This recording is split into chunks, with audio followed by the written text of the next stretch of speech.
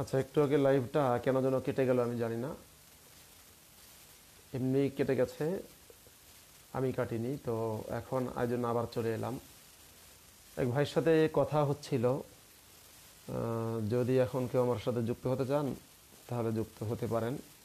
খুব অল্প সময় আমি থাকব। খুবই অল্প সময় আমি থাকব। এই অল্প সময়ের মধ্যে যদি বন্ধুরা কেউ আমার সাথে লাইভে যুক্ত হতে চান, তাহলে হতে পারেন। মুমিনদের অগ্রাধিকার। আর আচ্ছা একজন আমার সাথে যুক্ত হতে চাচ্ছেন, দেখি কে। বেলাল খান। হ্যাঁ বেলাল খান।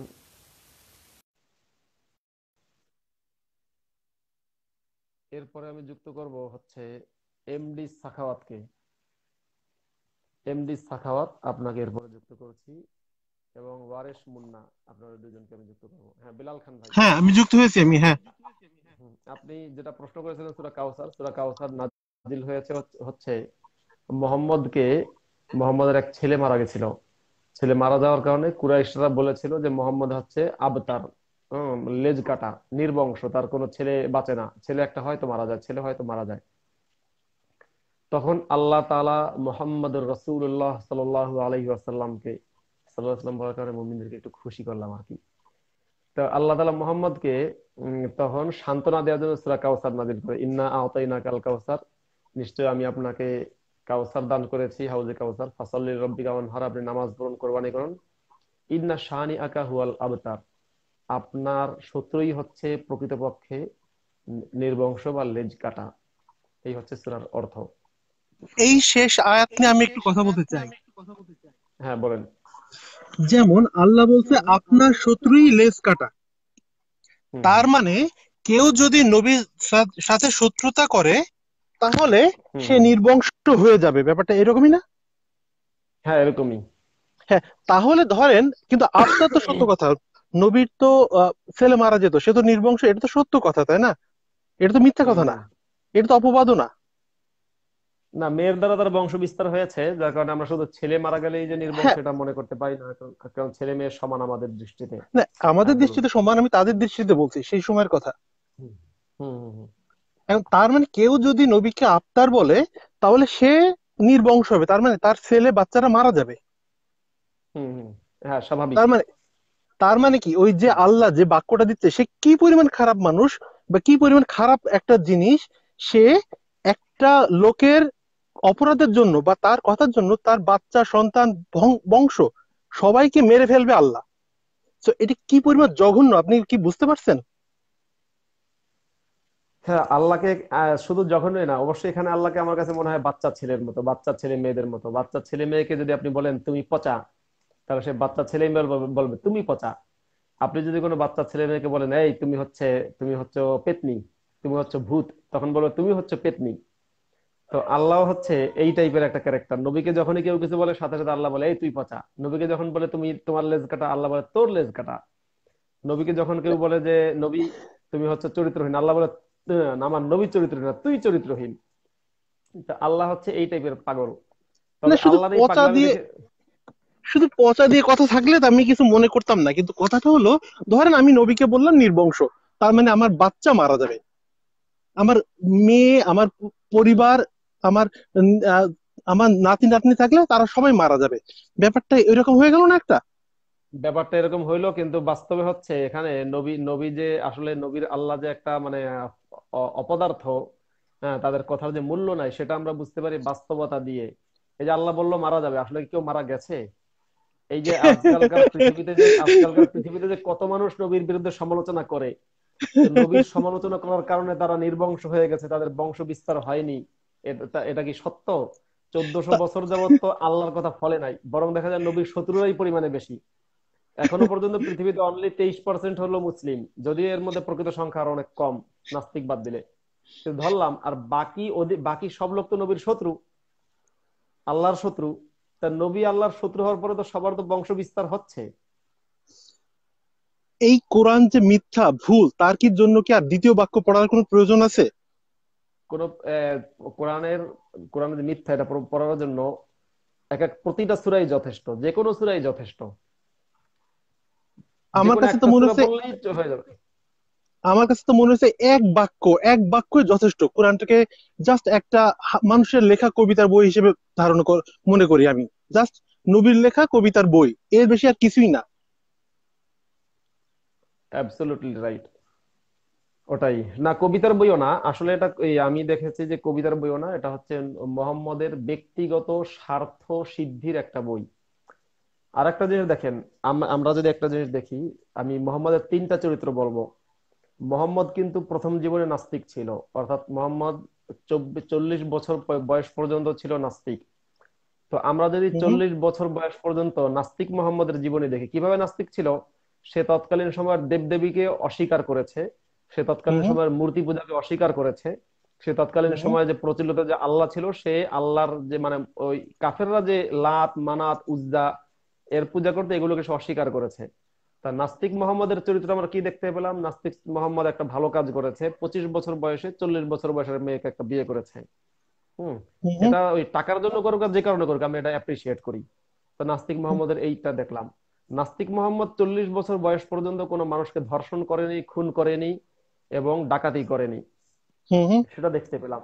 এরপরে চল্লিশ বছর বয়স থেকে আমরা মোহাম্মদের তেরো বছরের জীবনে যদি দেখি তেপ্পান্ন বছর বয়স পর্যন্ত তাহলে সেখানে আমরা দেখতে পারব যে আস্তিক মোহাম্মদ। এখন এই আস্তিক মোহাম্মদ কি হয়েছে? রাজনীতিবিহীন আস্তিক মোহাম্মদ। তা রাজনীতিবিহীন আস্তিক মোহাম্মদ হচ্ছে ভয়ঙ্কর কিন্তু ততটা না। কারণ রাজনীতিবিহীন আস্তিক মোহাম্মদ যে যেমন এই সুরা কাউসার বলেন সুরা আলাক বলি সুরা আপনার কাফিরুন বলি এই সুরাগুলোর মধ্যে একটু শুধু খিস্তি গালি দিতে পারে। পাতলা আছে। হুম, একটু মানে খিস্তিকেওর হালকা পাতলা আছে। কিন্তু সেটা কিন্তু মোহাম্মদ তখনও রাজা হয় নাই। তাহলে সেখানে দেখছি যে ধার্মিক মোহাম্মদ বা আস্তিক মোহাম্মদ তার মধ্যে কিছুটা অমানবিক বিষয় ছিল। যেই না মোহাম্মদ হয়ে গেল রাজা মোহাম্মদ অর্থাৎ সম্রাট মোহাম্মদ তখন সেটা হয়ে গেল খুব জঘন্য খুবই জঘন্য। এই জন্য আমি বলি যে আমরা যদি নাস্তিক নাস্তিকেরা ভালো কি মন্দ এটা যাচাই করার জন্য মোহাম্মদের জীবনে যেতে পারি। চল্লিশ বছর বয়সের মোহাম্মদ চুরি ডাকাতি খুন সন্ত্রাস ধর্ষণ ঘন ঘন বিয়ে করা এগুলো করে নাই। তার মানে চল্লিশ নাস্তিক মোহাম্মদ ভালো ছিল। এরপর যদি দেখি আমরা রাজনীতিবিহীন ধর্ম সেটা খারাপ কিন্তু অতটা না। যেমন আজকের ইউরোপে কিংবা পশ্চিমা দেশগুলোতে ধর্ম আছে রাজনীতিবিহীন সে ধর্ম খারাপ কিন্তু সেটা অতটা অতটা না। যেটা আমরা দেখতে পারি মোহাম্মদের তেরো বছর। মক্কার তেরো বছর। যেই না আমরা দেখব যে আপনার রাজনৈতিক মোহাম্মদ সেটা জঘন্যের সেরা। একটু এক মিনিট একটু হোল্ড লাইনে থাকুন আমি আসছি।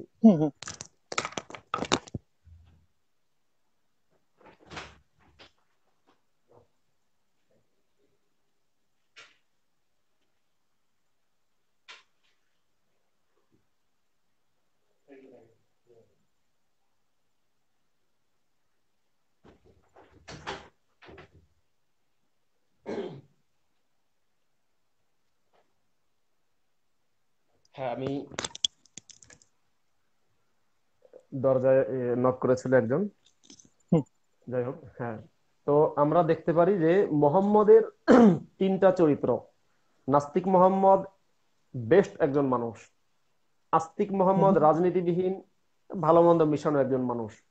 রাজনৈতিক মোহাম্মদ মদিনার জীবনের মোহাম্মদ ঘন ঘন বিয়ে করার বিয়ে করা ডাকাতি করা খুন করা ধর্ষণ করা আহ, গুপ্ত ঘাতক পাঠিয়ে মানুষ হত্যা করা তৎকালীন সময়ের ব্লগার তথা তৎকালীন সময়ের কবি সাহিত্যিকদের খুন করা এগুলো সব মোহাম্মদ করেছে।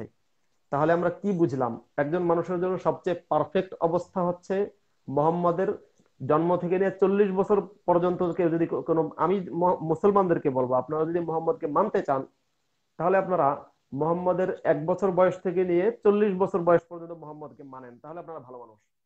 কারণ তখন মোহাম্মদ নাস্তিক, আপনিও নাস্তিক। তা আপনারা যদি মোহাম্মদকে মানতে চান, চল্লিশ বছর বয়স পর্যন্ত মোহাম্মদকে মানবেন। তাহলে আপনি ভালো মানুষ। আর তারপরে এর চেয়ে একটু খারাপ, তবে মোটামুটি খারাপ, খুব বেশি খারাপ না, সেটা হচ্ছে আপনি এই মোহাম্মদের চল্লিশ থেকে নিয়ে তেপ্পান্ন বছর বা বাহান্ন বছর বয়স পর্যন্ত মোহাম্মদকে মানবেন, ওকে, এটাও চলে। কিন্তু এর পরবর্তী সময়ের যে মোহাম্মদ, মদিনার জীবনের মোহাম্মদ, সেটা আপনি মানলে তখন তখন যেটা হবে, তখন এই Pakistan, Nigeria, Afghanistan, Iraq, Sudan, Somalia হ্যাঁ সিরিয়া, লেবানন, তিউনিসিয়া, এই সবগুলো দেশের মতো অবস্থা হবে। সৌদি আরব তো বটেই এদের মতো অবস্থা হবে আপনার। তো আমার মনে হয় আমি একটা ভালো উত্তর দিতে পেরেছি মানে মুমিনদের জন্য। যে মুমিনরা আসলে মোহাম্মদের কোনটা মানবে? আপনারা নাস্তিক মোহাম্মদকে মানবেন সেটাই আমি আপনাদের কাছে অনুরোধ করব। তো বেলাল খান ভাই আপনার সাথে কথা বলে ভালো এই লাগল। আমার কথা শেষ? হ্যাঁ হ্যাঁ হ্যাঁ শেষ আমার কথা শেষ পরে আবার কথা হবে? হ্যাঁ। ওকে ওকে হ্যাঁ ভালো ভালো থাকবেন শুভকামনা রইল। আমি দেখি এবার একজন একজন ভাইকে দেখতে এমডি সাখাওয়াত। এমডি সাখাওয়াতকে যুক্ত করেছি।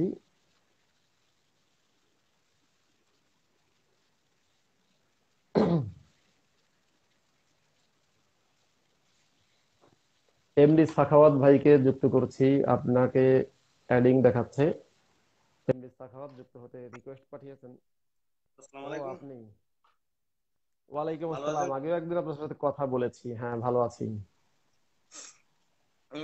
আমি কিন্তু আপনার সব লাইভ দেখি। আমি আপনাকে মোটামুটি পছন্দ করি। খুবই খুবই ধন্যবাদ আপনাকে। আমাকে পছন্দ করেন সেজন্য। এবং লাইভগুলো দেখেন সেজন্য আপনাকে আরও একবার ধন্যবাদ। ধন্যবাদ। হতে পারে আমাদের ভিতর মনের অমিল হতে পারে বা মতবাদের অমিল হতে পারে কিন্তু আমরা তো সবাই একই মানুষই তো। ঠিক আছে না? এই হয় আপনার যেটা বুঝে আসে না সেটা আমার বুঝে আসে আমার যেটা বুঝে আসে না সেটা আপনার বুঝে আসে এটাই তো। তো কিছু ক্ষেত্রে আমাদের অনেক কিছুই আমাদের ভালো লাগে না। ঠিক আছে?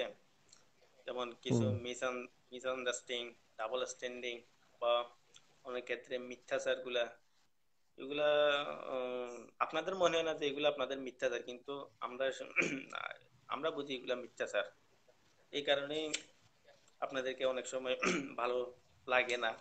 এটাই জাস্ট দেখেন যখন আমরা আলোচনা করা একটা জিনিস হলো আলোচনা করা আর একটা হলো কোপাকুপি করা। তো যতক্ষণ পর্যন্ত আপনি আমাকে বলবেন যে আমি মিথ্যা বলি, যতক্ষণ পর্যন্ত আপনি আমাকে বলবেন যে না, আপনি সঠিক কথা বলেন নাই হ্যাঁ যতক্ষণ পর্যন্ত আপনি আমাকে বলবেন না, আপনার এর বাইরে আরও যুক্তি আছে, আপনি এই যুক্তিটা সঠিক দেন নাই, তখন আপনার সাথে আমার তর্ক হবে, আলোচনা হবে। তো যতক্ষণ পর্যন্ত আপনার সাথে আমার তর্ক এবং আলোচনা হবে, ততক্ষণ পর্যন্ত কিন্তু কোনো সমস্যা নেই। কিন্তু সমস্যাটা হয় যখনই নারায় তকবির আল্লাহ বলে হাতে ছুরি ওঠে, তখনই সমস্যাটা হয়, আর এজন্যই আমরা এবং এই ছুরিটা যে কোত্থেকে ওঠে এর জন্য কোরআনের কোন কোন আয়াত দায়ী সেগুলো আমরা আসলে লাইভে বলি এবং লেখালেখির মধ্যে বলি। না একটা কথা হচ্ছে যে আজ পর্যন্ত যে দশজন নাস্তিক খুন হয়েছে যেমন থাবা বাবা খুন হয়েছে নীলয় নীল খুন হয়েছে তারপরে ব্লগার অভিজিৎ রায় খুন হয়েছে বা এটা যেহেতু খুন হয়েছে এদের একটা নির্দিষ্ট কারণ আছে ঠিক আছে?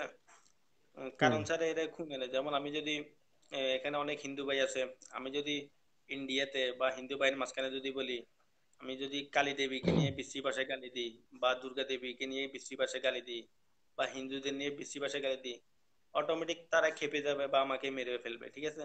বা ধরেন আমি যদি। এখন আওয়ামী লীগের ভিতর থাকি শেখ হাসিনার বিরুদ্ধে খুব খারাপ খারাপ কথা বলি শেখ হাসিনাকে গালি দিই তারাও আমার বিরুদ্ধে একটা কাউন্টার ব্যবস্থা নেবে। এটাই আর কি এগুলো আসলে একটা ব্রেনের একটা ই আর কি।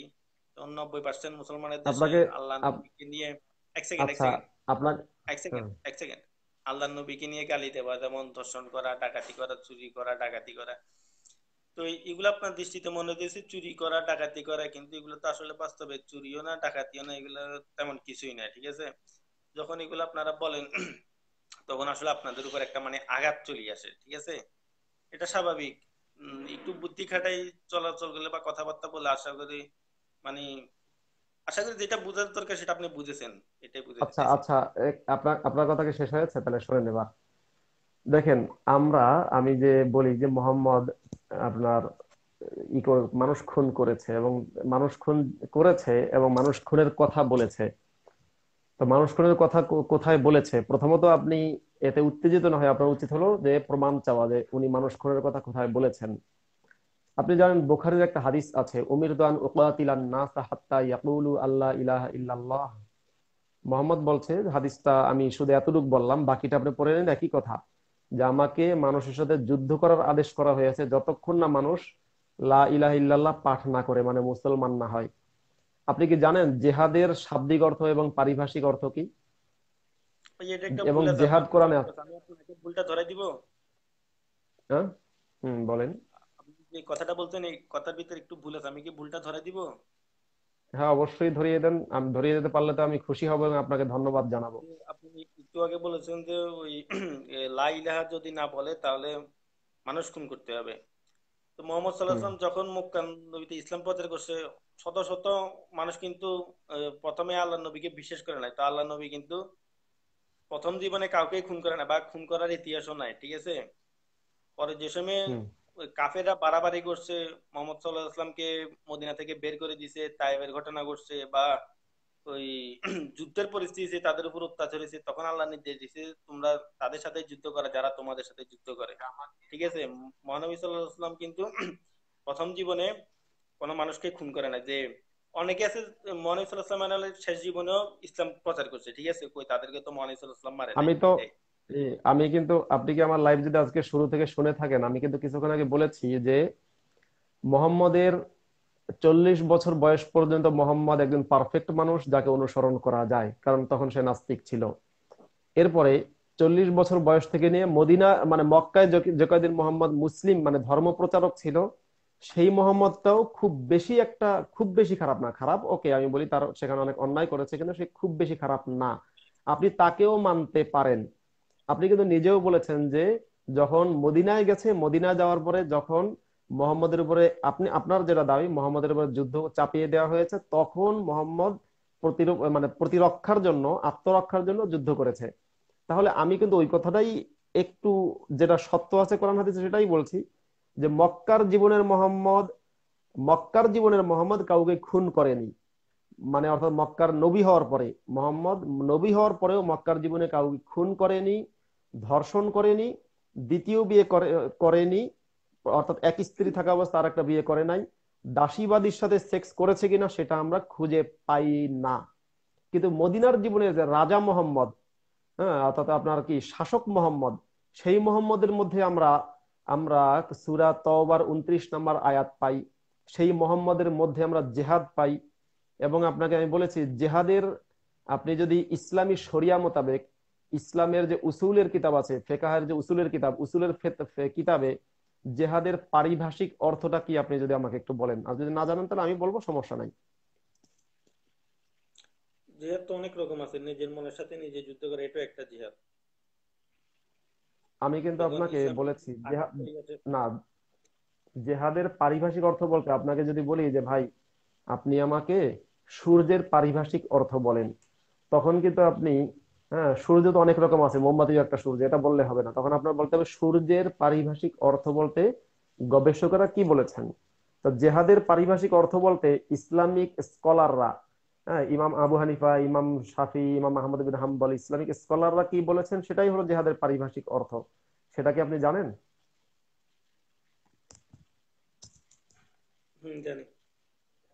কি বলেন? আপনি একটু বলেন। না এক প্রথম কথা হলো যে যদি আপনি জানেন তাহলে আপনার কাছ থেকে আমি শুনব। আর যদি আপনি না জানেন তবে আমি বলব। আপনি যেহেতু আগে মৌলবী ছিলেন আপনি আমার থেকে বেশি জানবেন তাই আপনার কাছ থেকে শুনতে চাইতেছি।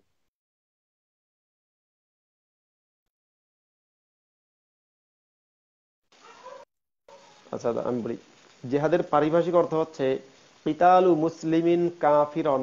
গয়র জি আহদিন বাগদা দাওয়াতিহি লিল ইসলামি হ্যাঁ ওয়া লিইলাই কালিমাতিল্লাহি বারাকটা ইসা আছে ইলা আন লি কালিমাতিল্লাহি অর্থ হচ্ছে মুসলমান চুক্তিবদ্ধ ছাড়া, চুক্তি নাই, এমন কোন কাফেরের সাথে যুদ্ধ করা। এমন কোন কাফের দল, সম্প্রদায় বা ব্যক্তির সাথে যুদ্ধ করা ইসলামের দাওয়াত দেওয়ার পরে। কি জন্য যুদ্ধ করতে হবে? কারণটা হচ্ছে ইলা আন লিকালিমাতিল্লাহ, আল্লাহর কালিমাকে বুলন্দ করার জন্য। এবার এই হলো জেহাদের পরিভাষা, ওকে? কোরআন হাদিস ঘেটে, কোরআন হাদিস রিসার্চ করার পরে আমরা বাংলাদেশ, ভারত, পাকিস্তানে যে কিতাব পড়ানো হয় কওমি মাদ্রাসায়, যে বইয়ের নাম হলো কিতাবুল হেদায়া, আল হেদায়া নামে যে বইটা আছে, সেটার আরবিটার আরবি বইটা যেটা মাদ্রাসায় পড়ানো হয়, তার পাঁচশত আপনার সাতান্ন, পাঁচশো সাতান্ন নম্বর পৃষ্ঠা থেকে নিয়ে একবারে ছয়শো পৃষ্ঠা পর্যন্ত, বা হয়তো ছয়শো একটু কম বেশি এরকম, সেখানে জেহাদের আলোচনা আছে। তা সেখানে বলা হয়েছে ওয়াকিতালুল কুফার ওয়াজিবুন ওয়া ইনলাম ইয়াবদাউনা। কাফেরদের সাথে যুদ্ধ করা ওয়াজিব, যদিও কাফেররা যুদ্ধ আমাদের সাথে শুরু না করে। কারণ কি? কারণ হলো বলা হচ্ছে যে কারণ হচ্ছে আন্না রসুল আল্লাহ আলা উবনা সবাহান। উবনা নামক গোত্রের উপরে সকালবেলা আক্রমণ করেছিলেন বিনা প্রয়োগ তারা কোনো যুদ্ধ আগে চাপিয়ে দেয় নাই, বরং মোহাম্মদ আগে হামলা করেছে। আপনি যদি হেদায়া কিতাবের কিতাবুল জেহাদটা পড়েন, তাহলে আপনি সেখানে খুঁজে পাবেন, কোরআন, হাদিস রিসার্চ করার পরে এবং বইটা নিশ্চয়ই অগ্রহণযোগ্য কোনো বই না। যদি হইতো তাহলে বাংলাদেশ, ভারত, পাকিস্তানের একশো ভাগ কমি মাদ্রাসায় বইটা পড়ানো হয় না। বাংলাদেশের আলিয়া মাদ্রাসায় পর্যন্ত এই বইটা পড়ানো হয়, তার মানে এটার গ্রহণযোগ্যতা আছে। এই কিতাবের মধ্যে বলা হচ্ছে যে কাফেরদের সাথে আল্লাহর দিনকে বুলন্দ করার যে ধাপ দেয়া হয়েছে, এবং এটা ফতোয়া, এটা মুসলিম বিশ্বের ফতোয়া, হানাফি মাঝহাবের ফতোয়া, এবং আপনার আহলে হাদিস সব মাঝহাবের ফতোয়া এটা, যে মুসলমানরা প্রথমত অমুসলিমদেরকে ইসলামের পথে দাওয়াত দেবে। এবং সেখানে দলিল হিসাবে পেশ করা হয়েছে, মোহাম্মদ মুয়াজিবনে জাবাল নামক সাহাবিকে ইয়েমেন দেশে পাঠাচ্ছিলেন। তখন মুয়াজকে বলেছিলেন যে মুয়াজ এবং আলীকে পাঠাচ্ছিলেন আরেক জায়গায় শাসনকর্তা হিসেবে। তো বিভিন্ন সাহাবিকে যখন শাসনকর্তা হিসাবে পাঠাতেন, তখন তাদেরকে বলতেন যে, প্রথমত ওদেরকে কি ইসলামের দাওয়াত দাও। দাওয়াত দেওয়ার পরে তারা যদি ইসলামের ইসলামকে কবুল করে নেয়, তাহলে তো ভালো। যদি ইসলামকে কবুল না করে, তবে তাদেরকে জিজিয়া দেওয়ার আহ্বান করো। যদি জিজিয়া দেওয়ার আহ্বান করো, তারপরে তারা যদি না মানে তাহলে তাদের বিরুদ্ধে যুদ্ধ করো। এটা। আর হেদায় কীভাবে বলা হচ্ছে?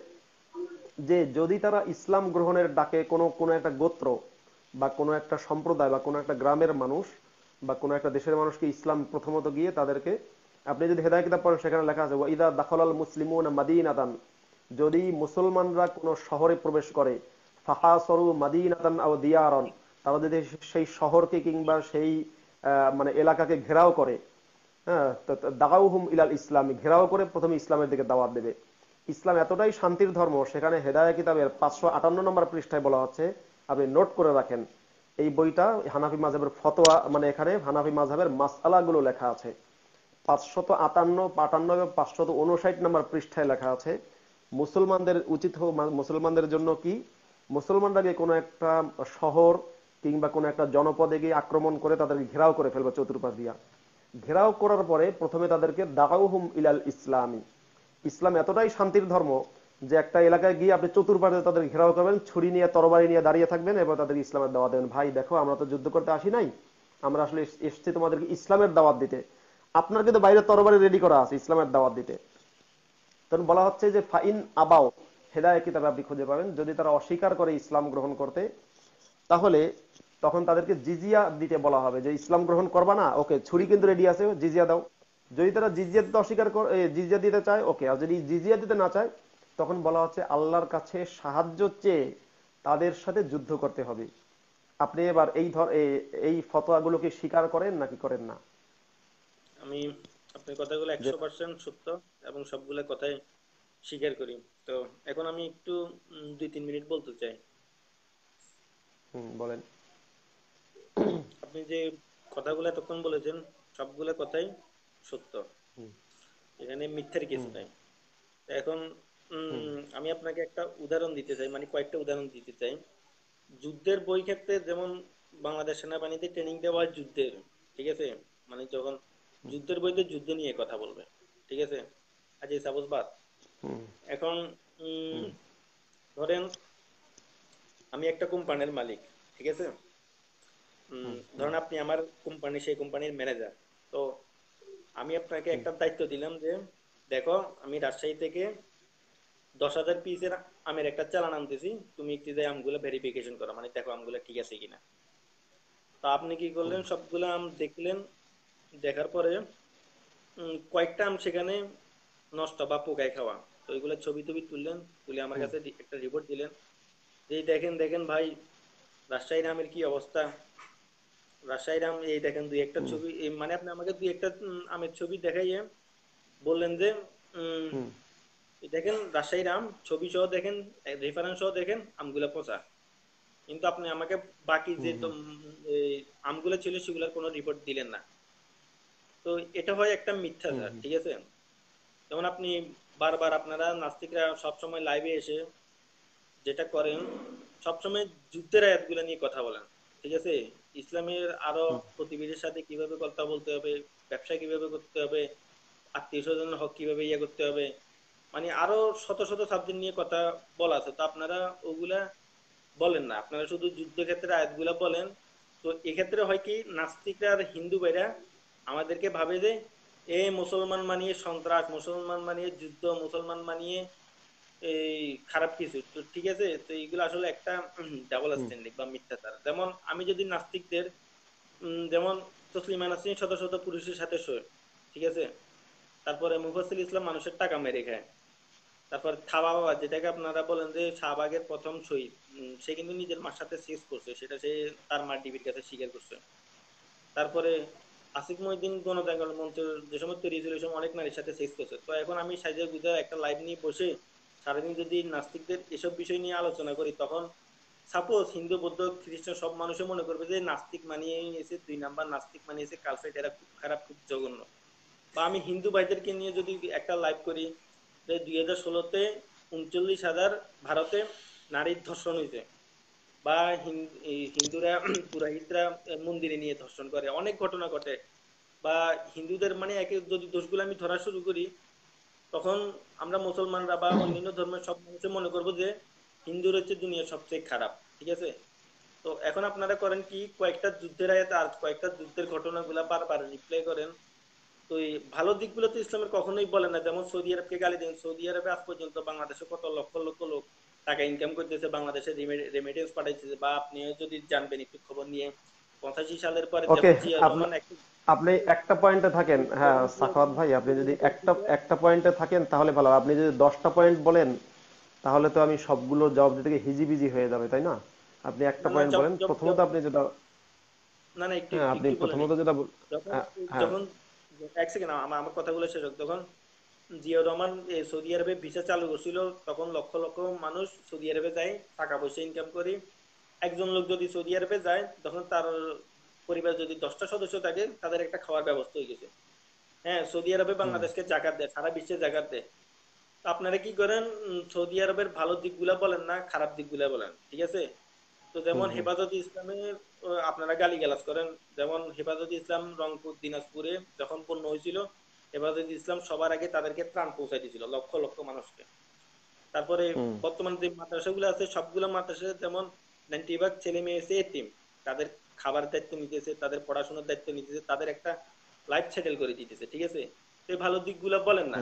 তারপর যেমন রোহিঙ্গারা আছে তো এই রোহিঙ্গাদের লাখ লাখ রোহিঙ্গা আসছে হেফাজত ইসলাম কিন্তু তাদেরকে ত্রাণ দিতে সাহায্য করছে ঠিক আছে? তো আপনারা মানে ইসলামের বা মুসলিমদের ভালো কিছু বলেন না। তো এই এগুলো একটা ডাবল স্ট্যান্ডিং বা আমার কাছে মিথ্যাচার মনে যে ঘুরে ফিরে মানে দাসী বান্দি তারপরে এগুলো আসলে উচিত না। ভালো দিকগুলো বলবেন আমার কথা হচ্ছে এটা যে আপনারা শুধু একটা জিনিসে আপনাদের কাছে পারে। আপনার কথা কি শেষ হয়েছে? আপনি তো অনেকগুলো পয়েন্ট বলেছেন। এখন আপনারা যেটা করতে হবে এগুলোর জবাব শুনতে হলে আপনার একটু ধৈর্য ধরে শুনতে হবে। প্রথমত আপনি যেটা বলেছেন যে আপনি থাবা তার মায়ের থাবা বাবা তার মায়ের সাথে সেক্স করেছে এটা একটা মিথ্যা মিথ্যাচার। এর সপক্ষে আপনি কোনো প্রমাণ এক সেকেন্ড আমি বলি প্রমাণ কি? না প্রমাণ কি? এক সেকেন্ড যখন থা বাবা খুন তখন ডিএসি এফআই র্যাব সিআইডি সবগুলা গোয়েন্দা সংস্থায় কিন্তু এটা তদন্ত করছে। এটা বাংলাদেশের সর্বপ্রথম চাঞ্চল্যকর মামলা হয়ে গেছে। তখন থা বাবা খুন হয়েছে আমরাও কিন্তু এটা নিন্দা জানাইছিলাম যে মানুষের ধর্মকে আপনি এটা তাই দিতে পারবেন আমাকে? আমি বলছি না শুনেন আপনি প্রমাণ দিতে পারবেন ওই না ওই আপনি ওই জামাত শিবিরই জামাত শিবিরের হেফাজতি লিংক দিলে হবে না। আপনি অথেন্টিক সোর্স থেকে লিংক দিতে পারবেন এরকম কোন লেখার এরকম কোন প্রমাণ? আচ্ছা শোনেন এবার আপনি না, না ঠিক আপনাকে আমি একটু থামিয়ে দেই। হ্যাঁ আপনার তো শেষ হচ্ছেই না? যখন থাবা বাবা যখন এটা নিয়ে তদন্ত শুরু করে তখন তার মা স্বীকার করে যে তার বাবার সামনে যে তার সাথে যৌন সম্পর্ক ছিল তখন তার বাবার মুখটা মানে একটু কালো হয়ে গেছিল। এবং সাখাওয়াত ভাই আপনার কাছ থেকে আমি গল্প শুনতে চাই নাই শোনেন। আপনার কাছ থেকে আমি গল্প শুনতে চাই নাই যে বাবা কীভাবে কি করেছে। আমি শুধু বলেছি যে আপনি আমার কথাটা খেয়াল দিয়ে শুনবেন যে থাবা বাবা কীভাবে কার সাথে সেক্স করেছে সেই গল্পটা আমি শুনতে গেলে আমার সময় নষ্ট হবে। শুধুমাত্র কত তারিখের কোন পেপারে প্রকাশ হয়েছে বা এটার এটার ডকুমেন্টটা কি সেটা আপনার কাছে চেয়েছি।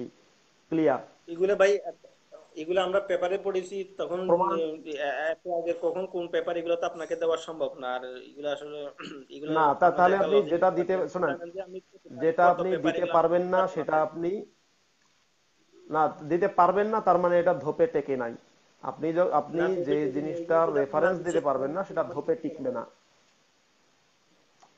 আপনি আপনি তো আপনি তো শুধু থাবা বাবা কেন? শোনেন আপনি তো আপনি তো আজকে বলতে পারেন আপনি কথাও বলতে পারেন যে বারাক ওবামা তার মায়ের সাথে সেক্স করেছে। কথার কথা বলতে পারেন। এটা আপনি যদি এখন বলেন তাহলে আপনার মুখটা আমি আটকাতে পারব না। কিন্তু এর সপক্ষে আপনি যদি প্রমাণ দিতে না পারেন তাহলে সেটা ধোপে ধোপে টিকবে না। গণজাগরণ মঞ্চে যারা জড়িত ছিল তারা সবাই জানে। আর হুমায়ুন আজাদ তো মেয়েদেরকে বলতো নারীদের দেখলে চুইংগেমের মতো না, আমি আমি আপনি আবার হুমায়ুন আজাদের কাছে যাবেন না। গণজাগরণ মঞ্চে যারা ছিল তারা কেউই এটা জানে না আপনি বাদে। আপনি গণজাগরণ মঞ্চে ছিলেন কিনা আমি জানি না কিন্তু আপনি বাদে কেউই গণজাগরণ মঞ্চে হ্যাঁ এইগুলো জানে না। আপনি একাই জেনেছেন কি আপনার কাছে কি জিব্রাইল আলাইহিস সালাম ওহী নিয়ে এসছে? না ভাই এগুলো আমি জানি। আপনি এখন লজিক্যাল ফেলাসি করবেন আপনি এগুলো অবিশ্বাস করে দিবেন তবে আচ্ছা, আপনার- দ্বিতীয় পয়েন্টে যাই। না না আপনি দেখেন আপনি আপনার দ্বিতীয় পয়েন্টে যাই। যেহেতু আপনাকে দেখেন আপনি যতক্ষণ কথা বলেছেন আমি কিন্তু ধৈর্য ধরে শুনেছি।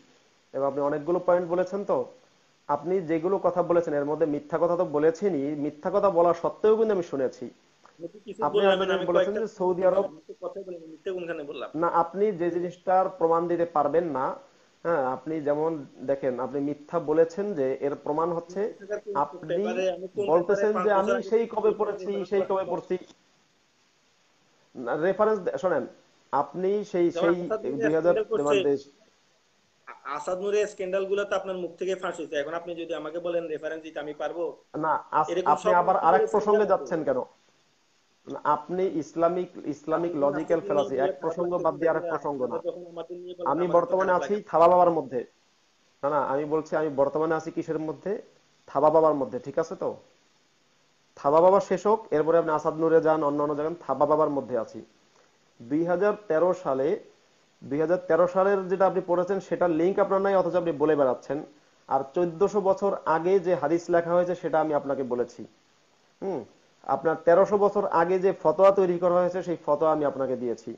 হ্যাঁ আপনার কয়েকশো বছর আগে যে, কয়েকশো বছর আগে যে হেদায়া কিতাব লেখা হয়েছে, সেটার রেফারেন্স আমি আপনাকে দিয়েছি।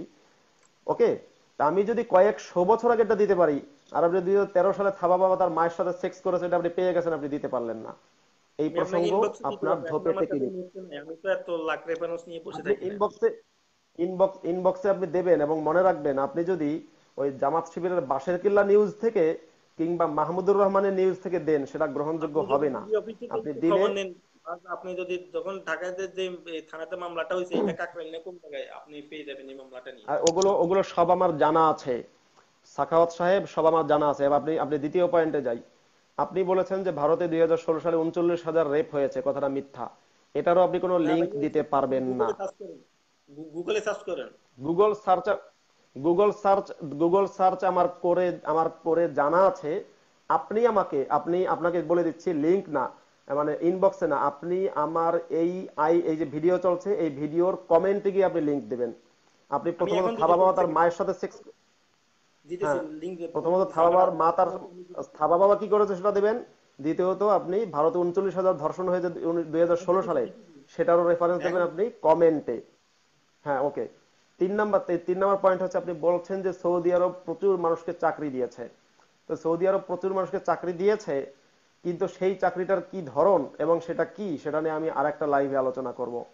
তারপরে আপনি বলছেন যে হেফাজতে ইসলাম বিভিন্ন এতিমদেরকে পালে। সেটা আমি একটা লাইভে আলোচনা করেছি। যে হেফাজতে ইসলাম বা এই যে ধর্মীয় মাদ্রাসা, মসজিদ, এগুলো বাংলাদেশের রাজনীতিবিদেরা এই এতিম বানিয়ে তারপর সেই এতিমদেরকে মাদ্রাসায় পড়িয়ে তাদের এক ধরনের এই এক ধরনের মানে কি বলে, ধর্মীয় একটা প্রজাতি সৃষ্টি করে সেটা রাজনীতিকদের ফসল। এজন্য হেফাজত দায়ী না, এজন্য দায়ী হচ্ছে বাংলাদেশের আপনার হাসিনা, খালেদা এরশাদ ফিরোজ রশিদ ওই নিজামি, টিজামি, এভরিথিং, সকল রাজনীতিবিদরা এই আকামটাই করে। এরপরে আপনাকে বলি, রোহিঙ্গাদের জন্য হেফাজতিরা অনেক মায়া কান্না দেখায়। সেই হেফাজতিরা কিন্তু চীনের উইঘুর মুসলিমদের জন্য তাদের মায়া কান্না নেই। হম, চীনের উইঘুর মুসলিমদের জন্য তাদের মায়া কান্না নেই, তা তো আছে। ইয়েমেনের সৌদি আরব যে মুসলমানদেরকে খুন করছে, সেজন্য হেফাজতিরা একটা মিছিল বের করে নাই।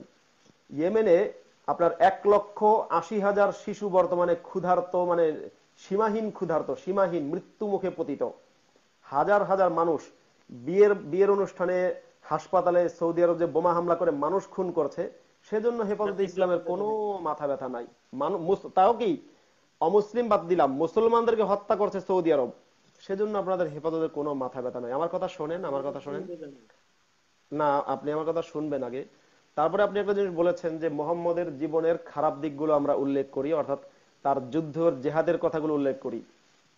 আচ্ছা একজন মানুষ মনে করেন আমি আমি আমার কথাই বলছি, আপনি আমার সাথে একসাথে থাকেন। আপনি দেখলেন যে আমি রাস্তায় গরিব দুঃখীদেরকে টাকা দান করি। আপনি আমাকে দেখলেন যে আমি মাঝে মাঝে ভালো কাজও করি, আপনার মানে আপনার উপকার করি। দেখলেন। আপনি দেখলেন আমি একটা মেয়েকে ঘরের মধ্যে এসে ধর্ষণ করি। আপনি এটাও দেখলেন, আমি একজন একটা মানুষের পকেট মেরেছি। আমি একটা মানুষকে খুন করেছি, সেটাও দেখলেন। এখন আপনি যদি বলেন, ভাই, আপনি খুন করলেন কেন? ধর্ষণ করলেন কেন? আমি যদি বলি মিয়া খালি এটাই দেখলেন আপনি আমার ভালোটা দেখলেন না? শেষে আপনাকে একটা প্রশ্ন করি। করব? আপনি মোহাম্মদের মদিনার জীবনে মাদানী জীবনের একটা ভালো কাজ বলেন। একটা ভালো কাজ করেছে এরকম একটা জিনিস বলেন। অনলি একটা। মদিনাতে থাকা মদিনার দশ বছরে মোহাম্মদ রাজা থাকা অবস্থায় তথা শাসক থাকা অবস্থায় মোহাম্মদ একটা ভালো কাজ করেছে এটা আমাকে দেখান। বা কিংবা ভালো একটা কথা বলেছে দেখান। কি মোহাম্মদ মদিনার জীবনে শুধু যুদ্ধ বিগ্রহ এগুলো নিয়ে আমি আপনাকে কি বলেছি আপনি আমার কথা বোঝেন নাই। আমি কি বলেছি যে মোহাম্মদ যুদ্ধ মোহাম্মদ ভালো কাজ করে নাই? আমি বলেছি আপনি দেখান আমাকে। হাদিসের রেফারেন্স সহ কিংবা কোরআনের আয়াত দিয়ে। আচ্ছা ঠিক আছে। একটা ভালো কাজ করে না সে খুব খারাপ কাজ দেখান একটা। আমি আমি আপনাকে কি বলেছি? সে ভালো কাজ করে না এটা আমি বলেছি আমি বলেছি একটা দেখান। আপনি কথার সাথে স্বীকার করতেছি সে খারাপ কাজ করতো মানে সে আমি আপনি যেটা যে উত্তরটা জানতে চাইতেছেন আমি সেটা বলতেছি যে মোহাম্মদ মাদানী জীবনে শুধু খুন খারাপ এগুলো করতো। আরে আপনাকে আমি বুঝাতে পারি না কয়বার বলব? আমি বলেছি আপনি একটা ভালো কাজ করে দেখান। আপনি যে বলেছিলেন আপনি যে বলেছেন যে আপনারা খালি মোহাম্মদের যুদ্ধটাই দেখলেন ওটাই দেখলেন তা ভালোটা দেখলেন না তা ভালোটা বলেন আপনি। ভালো কাজ নাই একটা দেখাবেন তো রে ভাই। কোনো ভালো কাজ নাই তো কি দেখো আপনার কথার সাথে আমি একমত তো। যাক আমি অত্যন্ত খুশি হলাম যে আপনি অবশেষে একটা সত্য কথা স্বীকার করেছেন। অনেক ধন্যবাদ আপনাকে। কোনো ভালো কাজ নেই। হ্যাঁ আমার ঘুমটা খুব ভালো হবে কারণ আপনার মুখ থেকে একটা সত্য আচ্ছা, স্বীকারোক্তি বের হয়েছে এজন্য আমার খুব ভালো লাগছে। মোহাম্মদ সারা জীবন ভালো কাজ করে নাই তো এখন আপনার সমস্যাটা কি? আপনি আমার যদি আগের কথাগুলো আপনার সমস্যা কি? না। ওকে আপনি আমার আগের কথাগুলো বোঝেন নাই। বুঝছেন আমার কথাগুলো? আগের কথাগুলো বলেন। আপনাকে এই জন্য বাক্যটা আপনাকে এই জন্য বাক্যটা আবার বলা লাগতেছে। চল্লিশ বছর বয়স পর্যন্ত মোহাম্মদ ভালো কাজ করেছে সেই সময় পর্যন্ত তার কোনো খারাপ কাজের রেকর্ড আমরা পাই নাই। চল্লিশ বছর বয়স থেকে অর্থাৎ নবী হওয়ার পর থেকে নিয়ে মক্কার ১৩ বছরের জীবনে মোহাম্মদ ভালো কাজও করেছে খারাপ কাজও করেছে। এটা মনে রাখবেন। মক্কার ১৩ বছরের জীবনে মোহাম্মদ গরিব দুঃখীকে উপকার করেছে মানুষের বোঝা টেনে দিয়েছে অনেক ভালো কাজও করেছে খারাপ কাজ অল্প কিছু করেছে। মদিনার জীবনের মোহাম্মদের কথা বলছি আমি। একদিন দুই দিন ওগুলো বলবেন আমাদের মনটা একটু শান্তি হবে। একদিন দুই দিন মানে শুধু একটা দিন লাগবে শুধু ভালো কাজগুলো বলতেন। একটা দিন ওইগুলো বলেন একটা দিন সময় বরাদ্দ দেন। না, কিন্তু ওটা যখন বলব, ওটা বলার পরে সাথে সাথে আমার আবার মদিনার জীবনের মোহাম্মদকেও দেখতে হবে। আর আর ওটা আরেকটা জিনিস আপনাকে বলি, যদি এমন হইতো, যদি এমন হইতো যে মক্কার ১৩ বছরের মোহাম্মদ ছিল হলো মানে খুন খারাপি করেছে, যুদ্ধ করেছে, মারামারি করেছে, আর মদিনার ১৩ বছরের মোহাম্মদ অনুশোচনা করেছে, সম্রাট অশোকের মতো, যে না, আমি যুদ্ধ করে ভুল করেছি, আমি আর যুদ্ধ বিগ্রহ করব না, আমি এখন গরিবের সেবা যত্ন করব। যেমন সম্রাট অশোক যুদ্ধ করেছিল এবং সেই যুদ্ধে প্রচুর মানুষ মারা যায়, কলিঙ্গের যুদ্ধে বিশেষ করে। এরপরে সম্রাট অশোক অনু, অনুশোচনা করে এবং সে পরবর্তীতে শান্তিবাদী হয়ে যায়। যদি মোহাম্মদ ওইটা করতো, তাহলে আমি আমি কিন্তু মোহাম্মদের ভালোটাই বলতাম যে, না, বেচারা শুরুতে খারাপ কাজ করলেও পরবর্তীতে ভালো কাজ করেছে। সমস্যাটা হচ্ছে মোহাম্মদের মক্কি জীবনের যে শান্তিবাদী সুরাগুলো আছে, শান্তির যে কাজকর্মগুলো আছে, যতটুকু সে করেছে, ভালো কাজ যতটুকু করেছে, সেটাকেও মোহাম্মদ মদিনায় যাওয়ার পরে সুরায় বাকারার বিভিন্ন আয়াত আছে মনসুখের আয়াত সে আয়াত দিয়ে সেগুলোকে বাতিল করে বলেছে এখন যুদ্ধ চলবে।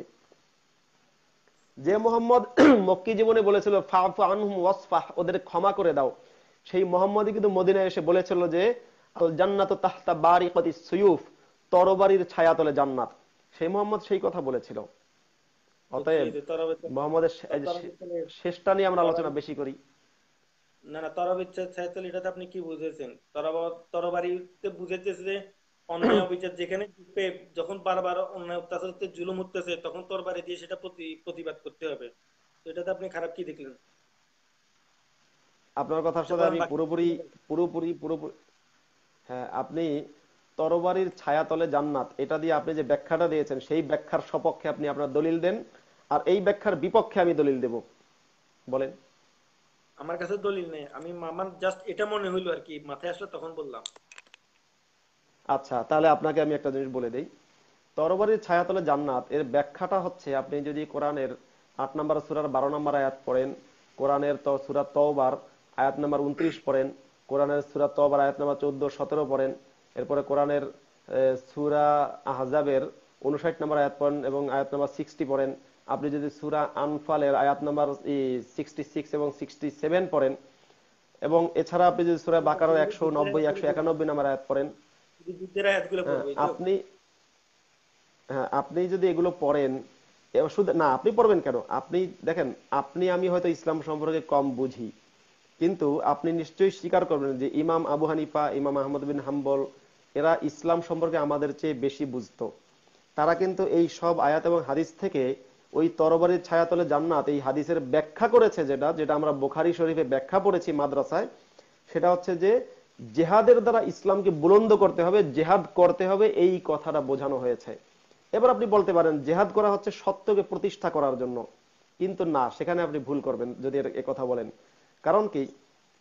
কোরআনের সুরা আনফালের যে আয়াতের মধ্যে, বারো নম্বর আয়াতে বলা হচ্ছে, ফদরিবু ফাওয়াকাল আগনাকি ওয়াদরিবু মিনহুম কুল্লা বানান। যেখানে বলা হচ্ছে কাফেরদের ঘাড়ে কোপ দেওয়া এবং তাদেরকে কাটো জোড়ায় জোড়ায়। সে এখন কাফেরদেরকে হত্যা করতে বলা হয়েছে। হ্যাঁ আমি বলি যুদ্ধের। কিন্তু কাফেরদেরকে হত্যা করতে একটু আমাকে সুযোগ দেন। হ্যাঁ কাফেরদেরকে যে কাফেরদেরকে যে আল্লাহ খুন করতে বলেছে সেখানে আল্লাহ যদি বলতো যে না একটু শুনতে দেন। আমি তো বুঝতে পেরেছি যুদ্ধের আয়াত। যুদ্ধ করতে যেখানে বলা হয় সেটা কি সেটা কি চুমু দেওয়ার আয়াত নাকি? যুদ্ধের আয়াত। আমি বলছি আল্লাহ যদি বলতো যে যারা পৃথিবীতে মানুষ খুন করে, বিপর্যয় সৃষ্টি করে, সন্ত্রাস করে, চাঁদাবাজি করে, ধর্ষণ করে, তাদের তোমরা ঘাড়ে কোপ দাও। তাহলে না একটু মনে সান্ত্বনা একটু সান্ত্বনা পেতাম। কিন্তু আল্লাহ কিন্তু কারণটাও বলে দিয়েছে সুরায় আনফালের তেরো নম্বর আয়াতে জালিকা বিআন্নাম শাকুল্লাহ রাসূলাহ। কেননা তারা আল্লাহ এবং তার রাসুলের সাথে শত্রুতা করেছে। হ্যাঁ? তা আল্লাহ এবং তার রাসুলের সাথে শত্রুতা করেছে বলেই তাদেরকে হত্যা করতে হবে।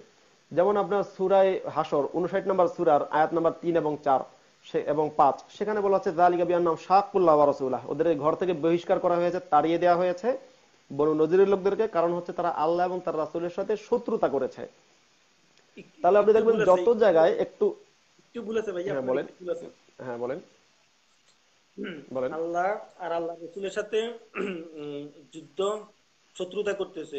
এটার একটা ব্যাখ্যা আছে। ব্যাখ্যাটা হচ্ছে যে আল্লাহ আর আল্লাহ নবীর সাথে শত্রুতা করা হচ্ছে যে আল্লাহ নবী একটা বিধান দিয়েছিল যে তখন যে কন্যা সন্তান হইলে মাটিতে ফুতে ফেলতে হবে বা অন্যের হক জুলুম করে নিয়ে যেতে হবে বা যে কেউ কেউ অন্যায় ভাবে হত্যা করতে হবে ঠিক আছে? এইগুলো প্রথম বিরোধী করছিল আল্লাহ নবী ঠিক আছে? আল্লাহ কি আল্লাহ নবী কি করছে? সবকিছু যত খারাপ কাজ আছে সবগুলো রহিত করে দিছে। ঠিক আছে? সুদের ব্যবসা বন্ধ করে দিছে সবকিছুই বন্ধ করে দিছে। এখন যারা আল্লাহ নবীর মানে কথাগুলো মানবে না তারা ওই খারাপ কাজগুলো যেগুলো আছে যেমন মদ খাওয়া সুদ খাওয়া অন্যায় ভাবে হত্যা করা জবরদখল করা যেগুলো আছে আর কি এগুলো তাদের জন্য বৈধ হয়ে যায়। তো তারা মানে এই কথাটা বুঝাইতেছে যারা আল্লাহ নবীর সাথে শত্রুতামি করবে তারাও ওই খারাপ কাজগুলো সবগুলো জায়েজ করে নিবে। এবং তাদের সাথে তো যুদ্ধ করাই যাবে। এই ব্যাখ্যাটা এই ব্যাখ্যাটাকে আপনার নিজের নাকি আপনি এই ব্যাখ্যার সপক্ষে? অর্থাৎ আপনাকে একটু ক্লিয়ার করি আমি যে আল্লাহর নবীর সাথে যে ব্যক্তি শত্রুতা করবে সে যেহেতু খারাপ হবে সে চুরি করবে সে আপনার ডাকাতি করবে খুন করবে সন্ত্রাস করবে ধর্ষণ করবে অতএব আল্লাহ নবীর সাথে খারাপ করা আল্লাহ নবীকে না মানা মানেই হচ্ছে সে সব অন্যায়গুলো করবে। এই যে কথাটা আপনি বললেন এর সপক্ষে কোরআনের কোনো আয়াত কিংবা কোনো হাদিস যদি আপনি দেখাতে পারেন তাহলে আমি কৃতজ্ঞ থাকব আপনার প্রতি। এখন আপনি কি এর সপক্ষে কোনো আপনাদের নাস্তিকদের একটা সমস্যা হচ্ছে যে যখন আপনারা কোনো কথা হ্যাঁ, বলেন একটু দেখাবেন না আমাদের নাস্তিকদের সমস্যা না। আপনি আপনি একটু দলিল দেবেন। কোরআন থেকে হাদিস থেকে। কোথায়? ঢাকা। আমি বললাম ঢাকা। আপনি বলছেন যে দলিল দেন। এখন আমি আপনাকে কিসের দলিল দিব ভাই? এরকম লজিক্যাল ফেলাসি কেন করেন? এটা এটা তো লজিক্যাল ফেলাসি না। আপনি যদি বলেন যে রবীন্দ্রনাথ ঠাকুরের একটা বই আছে বইয়ের নাম গীতাঞ্জলি। কয়টা জিনিসের রেফারেন্স আছে। এত রেফারেন্স কি আমার পক্ষে নিয়ে বসে থাকা সম্ভব? আমি কিন্তু আপনার সাথে না একটু ধৈর্য ধরেন। ভাই আমি জাস্ট আপনার না আমি না বিতর্ক আমিও করছি না আমি আপনার সাথে আলোচনাই করছি কিন্তু আপনি বলছেন আপনি আপনার কাছে দলিল শোনেন দলিল চাওয়াটা কোনোদিন লজিক্যাল ফেলাসি হতে পারে না। যেমন কাজী নজরুলের সঞ্চিতা বইয়ের মধ্যে আছে বিদ্রোহী কবিতা। এখন আমি যদি আপনি বললেন যে না এই বিদ্রোহী কবিতা কাজী নজরুলের সঞ্চিতা বইয়ে নেই বরং এটা জীবনানন্দ দাশের বনলতা সেন বইয়ের বইয়ের মধ্যে আছে। হ্যাঁ তাহলে আমি আপনার কাছে কি চাইব? প্রমাণ চাইব। আপনি করবেন কি সঞ্চিতা বইয়ের একটা কপি বা বনলতা সেনের একটা কপি দেখাবেন আমি সঞ্চিতা বইয়ের কপি দেখাবো বাস ক্লিয়ার এখন কোরআনে আছে কি নেই? দিয়ে না ইঞ্জিনিয়ারের উদাহরণ ডাক্তারে দিয়ে না। আপনি জাস্ট একটা কবি এই কবি কবিতাগুলো তো সবাই জানে এগুলো গুগলে নেট করলে সার্চ করলে পাওয়া যাবে। কিন্তু আপনি আমাকে যে রেফারেন্সগুলা চাইতেছেন এগুলো তো দিতে তো ঘণ্টার পর ঘণ্টা লেগে যাবে রেফারেন্সগুলা বাইর করতে। আমি তো রেফারেন্স আপনাকে দিচ্ছি।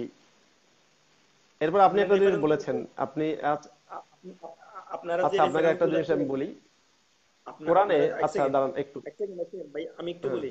আপনারা যে রেফারেন্সগুলা সংগ্রহ করে রাখেন সেগুলো হচ্ছে তারবিয়া গনিমতের মাল জিজিয়া কর তারপরে আপনাদের শস্য ক্ষেত্র এই ছয় সাতটা ইস্যু নিয়ে আপনারা সব নাস্তিক মানে প্রতিদিন কেউ না কেউ লাইভ করে ঠিক আছে? তো আপনারা এগুলা রেফারেন্স কালেক্ট করে রাখেন এটাই আপনাদের জন্য এখন আপনারা যখন না রেফারেন্স কালেক্ট করা কি দোষের? আচ্ছা একটু আপনাকে বলি শুনেন রেফারেন্স কালেক্ট মানে কোরআন হাদিসের রেফারেন্স কালেক্ট করা কি দোষের? না না দোষের বলতেছি না কোরআন হাদিসের রেফারেন্স কালেক্ট করা কি দোষের? কোরআন হাদিস পড়া কি দোষের? না না দোষের বলতেছি না। যেমন গনিমতের মাল চারি বিয়ে জিজিয়ে কর শস্য ক্ষেত্র এই ছয় সাতটা জিনিস নিয়ে আপনাদের এগুলো কি নেই? সব বাংলাদেশের না এগুলো কি নেই? মাথা ব্যথা। তো যখন তারা বিতর্ক করতে আসবে, নেই নাকি আছে? এগুলা রেফারেন্সগুলা নিয়ে বসে থাকে আর কি ল্যাপটপে যখন কোন মুসলমান আসলেও উম, ডালের ভিতর খিচুড়ি খিচুড়ির ভিতর ডাল মানে একটার ভিতর একটা একটার ভিতর একটা ঠিক আছে? এগুলো মানে আপনারা গসাই দেন। আচ্ছা দাঁড়ান একটু এই যে বললেন আমি আপনাকে বলছি এই দাঁড়ান দাঁড়ান। হ্যাঁ, আমি বলছি এগুলো এই যে আপনি বলছেন যে মানে শস্য ক্ষেত্র এই বিয়ে এই চার বিয়ে এগুলো এগুলো কি নেই করা কোরআনে? আমি তো বলছি এগুলো কোরআন হাদিসে নাই। যদি না থাকে যদি কোরআন হাদিসে না থাকে তাহলে আমি আপনাকে আমাকে বলেন যে নাই তখন আমি বলব হারে কোরআন হাদিসে নেই নাস্তিকেরা সব মিথ্যা কথা বলে। সেটা আমি যদি আপনি প্রমাণ দিতে পারেন আমি স্বীকার করে নেব। এগুলো কি নেই? আছে। তাহলে যে জিনিসটা আছে সেটাই আমি বলছি। যেটা আছে সেটাই বলি। তা যেটা আছে সেটা বলাটা কি দোষের? সাবজেক্টগুলো তো যেমন এক সেকেন্ড এবার আমাকে একটু বলতে দেন। এইসব সাবজেক্টগুলোর প্রেক্ষাপট ভিন্ন, কথা ভিন্ন। যখন কোন নাস্তিক আমাদেরকে বলে গনিমতের মাল কি তারপরে ওই যুদ্ধমুদ্ধনী কি আমরা তখন তাদেরকে বলি, তুমি বদর যুদ্ধের ইতিহাস বা উহুদের যুদ্ধের ইতিহাস এগুলা পড়েই দেখো ঠিক আছে? তোমাকে কোন নাস্তিকে কখনো বলবে না বদর যুদ্ধ কেন হয়েছে, ঠিক আছে? কয়েকটা আয়াত কোট করে নি দেখাবে, জোড়ায় জোড়ায় কাটো যুদ্ধ মন্দনী হয়েছে, ধর্ষণ করছে, এগুলো হয়েছে, ঠিক আছে? আচ্ছা বদর যুদ্ধ কেন হয়েছে? না ইতিহাসগুলা- আপনি আপনি তো নাস্তিকদেরকে দেখাবেন। সাখাওয়াত ভাই আপনি যে বলছেন কোন নাস্তিকই আপনাকে দেখায় না বদর যুদ্ধ কেন কেন হয়েছে? তাহলে আপনার কি ইমানি দায়িত্ব না নাস্তিকদেরকে দেখিয়ে দেওয়া? আমি একটু আমাকে বলতে দেন। একটু একটু অন্য পয়েন্টে না অন্য পয়েন্টে না না না অন্য পয়েন্টে না। আপনি বদর যুদ্ধে গেছেন তো? এখন আপনি বল আপনি বদর যুদ্ধ করেছে মোহাম্মদ বদরের যুদ্ধ করেছে। এখন আপনি বলেছেন যে বদর যুদ্ধ করেছে কারণটা বলে না। আপনার কাছ থেকে আমি শুনতে চাই বদর যুদ্ধের কি কারণ। যদি না বলতে পারেন তাহলে আমি বলব। আপনার কাছ থেকে শুনতে চাই বলেন। বদর যুদ্ধের কারণ এগুলো তো ঘণ্টা ব্যাপী আলোচনা এগুলো তো আর এখন বলা সম্ভব না। সব সবই তো ঘণ্টা ব্যাপী আলোচনা। আপনি করি না ঘণ্টা ব্যাপী আলোচনা নালে নালে আপনি আলোচনা দশ মিনিট করেন দেখি। আপনি যেটাই বলবেন সেটাই ঘণ্টা ব্যাপী আলোচনা সেটার বই আপনার কাছে নেই তা আপনি আলোচনা করতে এসেছেন কেন রে ভাই? মাসুদ ভাই আপনি যদি আমি যদি এখন আপনাকে বলি যে বাংলাদেশের যুদ্ধের প্রেক্ষাপট বলো দশ মিনিটে তা আপনি পারবেন কিন্তু সেগুলো সলিড হবে না। যেমন বাউন্নতে ভাষা আন্দোলন হয়েছে উনসত্তরে গণ অভ্যুত্থান হয়েছে তারপরে পঁচিশে মার্চ ঘটনা ঘটছে তারপর বাংলাদেশকে বঞ্চিত করছে এরকম অনেক টপিকস আছে ঠিক আছে? এখন আপনি তো আমি যদি আপনাকে বলি যুদ্ধের ঘটনা তো বাংলাদেশ একাত্তর সালে দশ মিনিটে শেষ করেন আপনিও পারবেন না সব কথা উঠে আসবে না ঠিক আছে? পারব। আমি আমি শুনেন। দেখুন আপনাকে- আগে আমি সেটা বলি। আপনাকে না না শুনুন আপনাকে বদর যুদ্ধের এক না না আমাকে বলতে দিতে হবে। আপনি আবার খালি ঘন ঘন প্রসঙ্গ পাল্টান। আপনি বলেছেন বদর যুদ্ধের প্রসঙ্গ এবং আপনি বলছেন ঘণ্টা ব্যাপী আলোচনা কিন্তু কথাটা সঠিক না। বদর যুদ্ধের আলোচনা বলি নাই একটু শেষ করতে দেবেন। বদর যুদ্ধের প্রেক্ষাপট বলতে আমার পাঁচ মিনিট লাগবে। কোরআন থেকে বলব। একবারে ডাইরেক্ট কোরআন থেকে পাঁচ মিনিট লাগবে। এবার আপনি বলেন আপনি আলোচনা করতে রাজি আছেন কিনা? না ওই বদর এই যুদ্ধের- দুনিয়াবাদ বদর যুদ্ধের প্রেক্ষাপট নিয়ে আলোচনা করতে রাজি আছেন কিনা? আমার লাগবে পাঁচ মিনিট। আপনার কতক্ষণ লাগবে বলেন? না বদর যুদ্ধের আলোচনা আমি এখন করব না কারণ পয়েন্টের যুদ্ধের আলোচনা না কিন্তু যুদ্ধের কারণটা আপনি নিজেই কিন্তু বলেছেন বদর যুদ্ধের প্রেক্ষাপট। হ্যাঁ আমরা কিন্তু যুদ্ধের আলোচনা করব না যুদ্ধের প্রেক্ষাপট নিয়ে আলোচনা করব অনলি প্রেক্ষাপট। প্রেক্ষাপট থেকে যুদ্ধে আমরা ঢুকবো না আমাদের সীমা হচ্ছে প্রেক্ষাপট পর্যন্ত। আপনাকে আমি কোরআন থেকে প্রেক্ষাপট দেখাবো আর আপনি আমাকে আপনি আমাকে দেখাবেন। আমার লাগবে পাঁচ মিনিট আপনার কি এক ঘণ্টা লাগবে।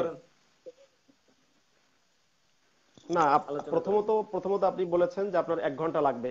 তার মানে আপনি জানেন যে বদর যুদ্ধের প্রেক্ষাপট। আপনি আগে বলবেন যেহেতু আপনি জানেন এজন্য আপনি আগে বলবেন পরে আমি বলব। আপনাকে এক ঘন্টাই টাইম দেবো যদি এক ঘণ্টা লাগে। কিন্তু আমার পাঁচ মিনিট লাগবে। আমি যদি আমি যদি বলা শুরু করি আপনি এখান থেকে ভুল ধরবেন ওইখান থেকে ভুল ধরবেন ঠিক আছে? আপনি আর আলোচনাটা আগাইতে দিবেন আমি আপনাকে আমি আগাতে দেবো। আপনি পুরো আপনি এক ঘণ্টা যদি লাগে এক ঘণ্টা পর্যন্ত শুনব। যে আমি এই যে দর্শকরা সবাই আছে একশো উনপঞ্চাশ জন দেখছে আমার লাইভ কথা দিলাম। আপনি বদর যুদ্ধের প্রেক্ষাপট বলবেন। যুদ্ধ না আপনি বলেন। আপনি বললে একটু গো- গোছাই বলা হবে এই জন্য। আমি কথা একটু গোছাই বলতে কম পারি এই জন্য। আপনি বলেন। সবাই শুনুক। আপনি তো বলতে পারলেন না। যাই হোক, তার কি করার? বদর যুদ্ধের প্রেক্ষাপট, আপনি বলতে পারলেন না, এবং আমি জানি আপনি এক ঘণ্টার কথা বলেছেন, আপনি এক ঘণ্টা না, আপনি দুই মিনিট আলোচনা করতে পারবেন না বদর যুদ্ধের প্রেক্ষাপট নিয়ে। এবং আমি মিথ্যা কথা বলি নাই, আমি নিশ্চয়ই সত্য কথা বলেছি। আপনি নিজে যে বিষয় নিয়ে আলোচনা করেন, সেই বিষয়টা আপনি জানেন না, আমার ধারণা। অবশ্য আপনাকে ছোট করার উদ্দেশ্য আমার মোটেই নেই। মোটেই ছোট করার উদ্দেশ্য না, কিন্তু আপনাকে আমি যদি প্রেক্ষাপট বলি, শুধু আপনার সম্মানে, সেটা হচ্ছে সুরায় আনফাল, আট নাম্বার সুরা। সেই সুরার মধ্যে বলা হচ্ছে ইহদা ইফতাইনাহা লাকুম ওয়া গায়রা যাতি লাকুম ওয়া আন ওয়া দাবিরাল কাফিরিন। সূরা আনফালের 1 থেকে 10 নম্বর পর্যন্ত পড়বেন, এর মধ্যে আয়াতটা পেয়ে যাবেন 8 নম্বর সূরা। সেখানে এই আয়াতের যে আয়াত আয়াত সম্পর্কে তাফসীরের কিতাবের মধ্যে যা লেখা হয়েছে, সেটা হচ্ছে বদ্ধ মোহাম্মদ প্রথম আবু সুফিয়ানকে করি। কে যেন আমার কথা জবাব দেওয়ার একটা কমেন্ট করেছিলেন তিনি আমার কথার সব জবাব দিতে পারবেন। কে এসে? তাকে আমি খুঁজি। আচ্ছা কে যেন আমার সব প্রশ্ন দিতে পারবেন কমেন্ট করেছিলেন যদি আরেকবার কমেন্ট করেন তাহলে আমি আপনাকে যুক্ত করব।